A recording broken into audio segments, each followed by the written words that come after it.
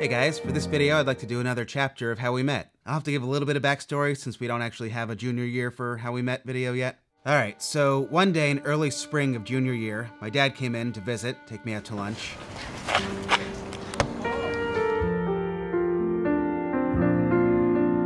Have you ever been straight down here? This is what Myrtle Avenue looked like in the early 2000s. It looks nothing like this anymore.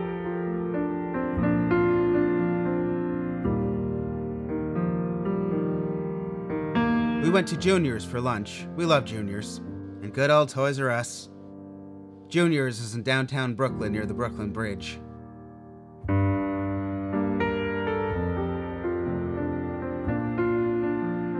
After lunch, we continued on and had a little adventure. We went to Coney Island. I'd never been there before, and I'm sure my dad hadn't been there in ages. There's the cyclone.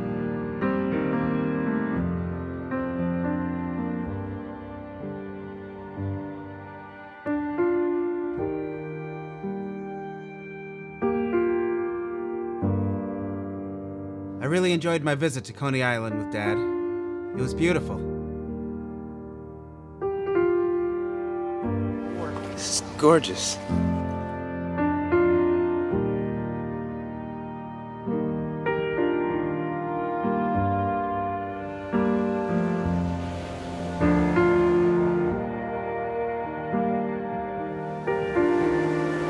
So that was my first visit to Coney Island. I'd like to go back there sometime. So, all through college, I had a girlfriend. Mia had a boyfriend. We were both in pretty serious relationships. At one point, both of us thought that we might eventually get married to the person that we were with at the time. The other relationships that both Mia and I were in at the time also had some issues. Unfortunately, I think the most interesting things should probably be omitted from these videos, but um, the summer leading into senior year should have been a very nice summer for me and my then girlfriend, and she had some other things that she was dealing with. It it got bad over the summer, and she wasn't really ready to admit what the actual problem was towards the end of the summer, even though it was very clear and something that she had been dealing with even before she met me. But she decided that she was going to try to get rid of everything else in her life that could possibly cause her any stress before actually admitting what the thing was. So she decided that maybe we should go on a break, which at the time was was mutual. Uh, I mean, I was I was on one hand being understanding and sympathetic, but I- was not thrilled either. So it was kind of a mutual we we should take a break. And the very same day we took a break, this guy who had been hitting on her at the Jersey Shore asked her out. She said no. Summer was over and it was time for college, and I was getting ready to go back to Pratt, and she had her college in New Jersey, not far from where I lived with my parents at the time. She went back to her school first and immediately missed me. She called me up. She wanted me to come pick her up and take her out, and I, I had to think about it for a minute. I wasn't sure I wanted to, but I, I ended up going. I picked her up at the South Orange Dunkin' Donuts, and she was with some of the girls she knew from college, and she very excitedly introduced me to them as her boyfriend, as though nothing had happened. And then the next day, my dad drove me back to Pratt.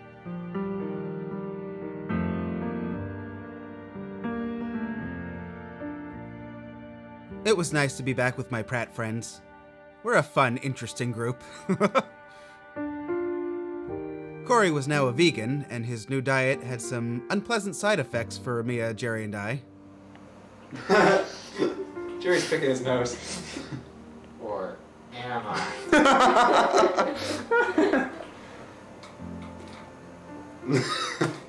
On September 3rd, my girlfriend took the train into New York with some of her college friends. Mario, just a friend, 2002. Now we're stopping people on the streets left and right here in Times Square. I'm hanging out with these two girls. What are your names? and she wanted to come see me in Brooklyn with uh, some of the girls. It ended up being just one girl. I don't know what happened, but two of them left in the subway.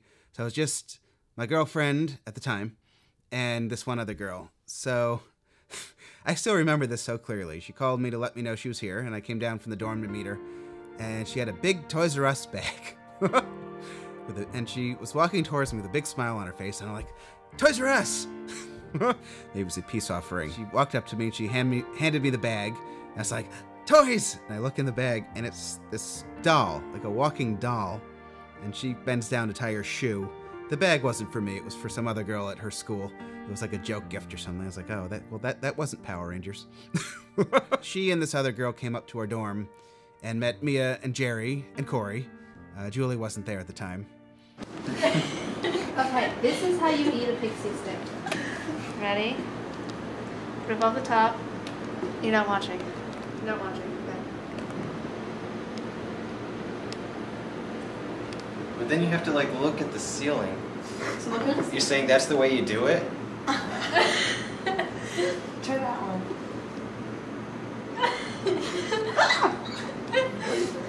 is it empty? No. I mean, is it soggy right there? Nibble that part off. That will Don't rip it off. It's gonna go.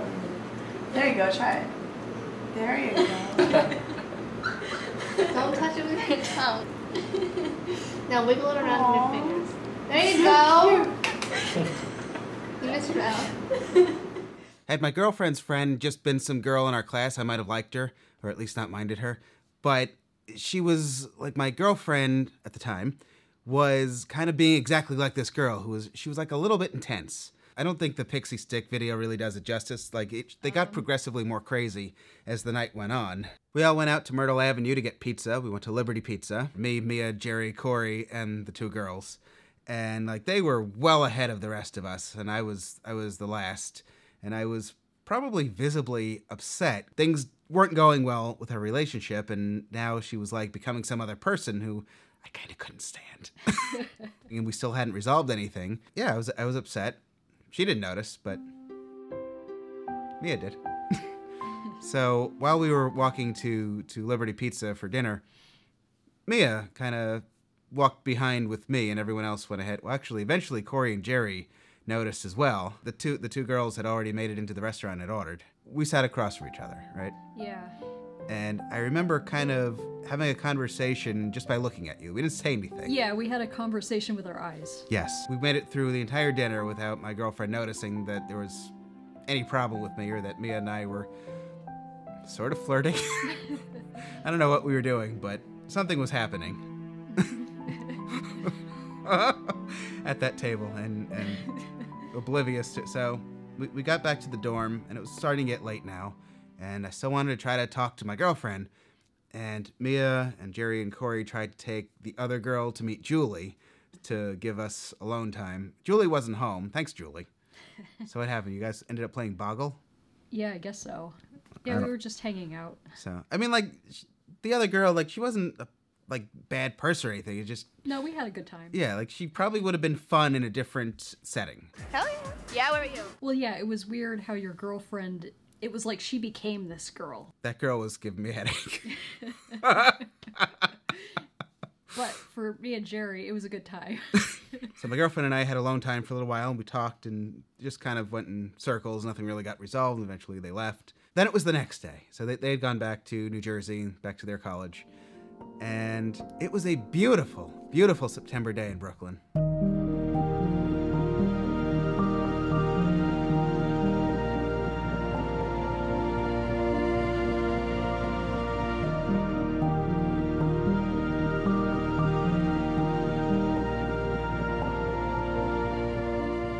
It felt like a Coney Island day.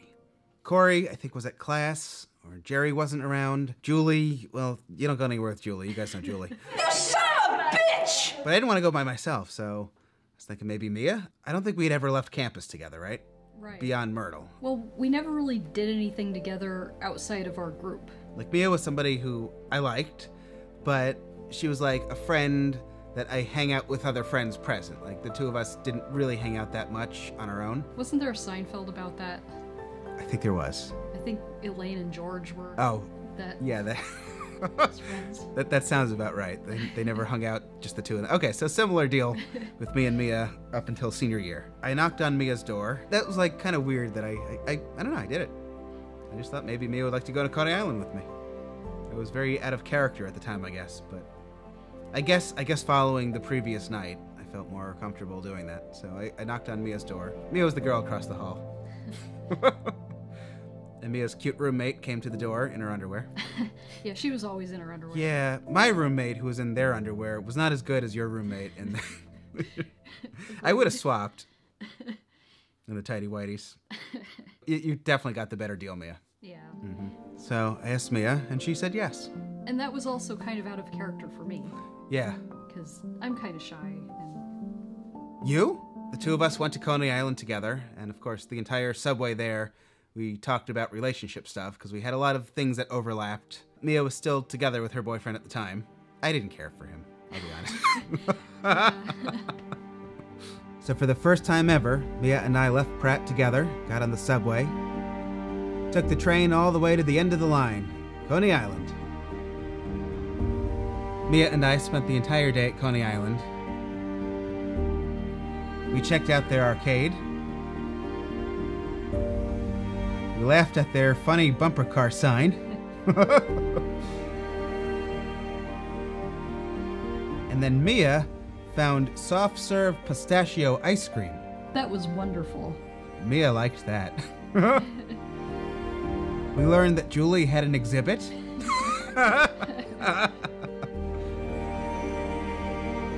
we walked on the beach.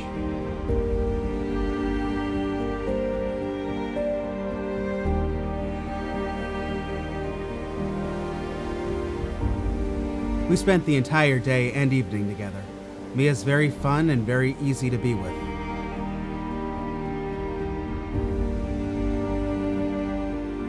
It was a very nice trip to Coney Island, and I had fun with Mia. While we were there, I got a phone call from my girlfriend. and I, I didn't feel like talking because I was, I was hanging out with Mia. and she asked, she asked where I was and what I was doing. I said I was at Coney Island. And she just assumed that I wasn't there by myself. And she asked me who I was with. And I said, Mia. and I, I think, if I recall, she went, Great. I think this was just kind of a turning point for us because it was, you know, the first time we'd hung out by ourselves without the rest of the group. And I don't know, it was just, we were enjoying each other and we were both kind of thinking, why can't our relationships be more like this without so much drama? That's, of course, not the end of the story. That's really just the beginning of the BruMia story. Although, junior year, we sort of had a story too, but it wasn't, it was more like just um, getting to know each other a little bit better. Okay, let's go back to sophomore year a little bit for anybody that's new or just forgot. Sophomore year, I was Corey's roommate for the first year. We were suite mates our freshman year, so we had already known each other and mutually requested to be roommates the following year. Corey can be a little bit sneaky and insecure at times. So fall of our sophomore year was the first year that we were all in a class together. Me, Mia, Jerry, Corey, Julie. Mia was in this class, in our filmmaking class, I think it was. Okay, so one day Mia comes into class. It was Halloween, and she wore this really kind of sexy outfit with these black tight pants, shiny pants, which today I'm sure would have resulted in many Mia thick comments.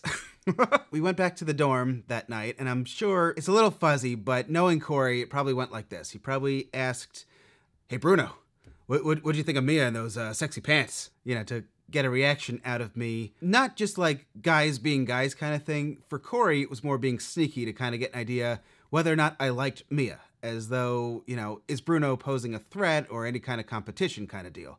Not just what'd you think of Mia in those sexy pants. At that time, Corey had already met my girlfriend. He knew that I was in a relationship with somebody, and I certainly wasn't looking to, you know, to go meet other girls on campus. That's not really my thing. Like I like to be in a in a relationship. I'm not looking to just meet random girls.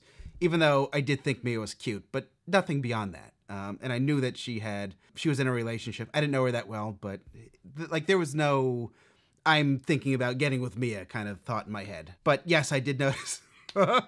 I did notice the pants. They were very good.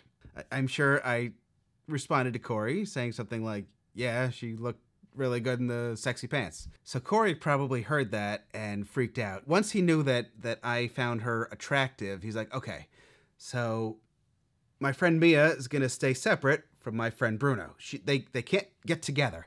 So Corey, even though there was nothing going on, did everything in his power to keep us separated. So, uh, like Mia was dealing with with her boyfriend at the time, and uh, I think they were broken up or breaking up. She wasn't happy, so she would talk to Corey, and and everything every time she said something about her boyfriend, Corey would be like, "Oh yeah, yeah, Bruno always does that that crap, man, to to his girlfriend. Yeah, that, that sounds just like Bruno." He just made sure that Mia and then Julie as well, because Julie was Mia's roommate, would be like very suspicious and cautious of me, and they wouldn't want to have anything to do with me. So he would go, you know, go hang out with them, and then he'd come back and hang out with me. But we were never really together. Junior year, Mia and I ended up getting together in a situation where we ended up talking about Corey and exchanging stories from sophomore year, and then we figured out what had been happening. it was late at night, and Mia had come into our dorm, the Bruno Corey dorm, from across the hall, and she wanted someone to go to Myrtle Avenue with her to get Chinese food. And it was, I, I want to say it was like 10 or 11 o'clock. And Corey, this is Corey, he had already taken his shoes off, so that's it. He's in for the night. Can't put the shoes back on. I didn't feel like going anywhere either. Mia had actually yelled at me sophomore year. I didn't know what was going on, and uh, Corey tried to ask her out. She didn't want to go out with Corey. Corey was all upset. I went like an idiot to Mia's room at the end of sophomore year to try to talk to her about maybe, you know, I don't know what, giving Corey another chance or something because he was upset. And Mia, I was like the last person she wanted to see. She yelled at me. She kicked me out of her room. She slammed the door at me. so now, now it was junior year. Mia wanted to go out to Myrtle Avenue get Chinese food, and I wouldn't have gone otherwise, but I didn't want her to go by herself to Myrtle at night because I mean we love Myrtle, but it, sometimes it wasn't always so safe. Like you could go a few blocks and then that way, and uh, maybe not come back. I went with her just as kind of protection, and I remember like we walked to from the dorm all the way to the restaurant, like total silence, maybe a little awkward silence. Mia ordered, and then she came and she addressed a rumor. See, Mia had made a comment not too long before that I had nice feet for a guy. Corey flipped out, even though there was nothing going on between Mia and Corey, but he's like, "Oh no, Mia's flirting with with uh, Bruno. They like each other." Something, and he still, I guess, thought he had a chance with her. I don't know. One night, my girlfriend had called the dorm looking for me. I don't know where I was, but Corey answered. Maybe I was at class, and he had said something to her about, you know, there might be something going on with with Bruno and Mia, because he knew that if he planted that seed with her, it would eventually get back to him, and he'd find out without having to ask me if there was actually something going on. He's just, oh, Corey. Anyway, so we're, we're sitting in the restaurant. Mia comes up to me and she's like, just just so we're clear, I wasn't flirting with you. And I go, oh, I know. That's just Corey. You know how Corey is. Maybe she said, how is Corey? And we just started talking about Corey. From the restaurant back to the dorm, I went up to her room. We went to her kitchen, kept talking about Corey. She's eating her Chinese food. Next thing we know, it's like four o'clock in the morning. and the whole time we've just been exchanging sophomore year Corey stories. So we, we got that all figured out. Corey locked the door to go to bed, and I didn't have a key, so I must have knocked at the door like 4:30 in the morning. And he's like, "Bruno, where, where were you, man?" I was like, "I've been with Mia the whole time." he what? he didn't like that. Wow, I've been talking for a long time. So anyway, Mia and I figured that out junior year, and then we were like friendlier throughout junior year, but it wasn't really till sophomore, till uh, sorry, senior year that that um, anyone really had anything to worry about because my my girlfriend at the time too, like if if we would fight and I, and we would try to like I always wanted to like, try to resolve things, and her response would usually be more like, "Well, why don't you date Mia?"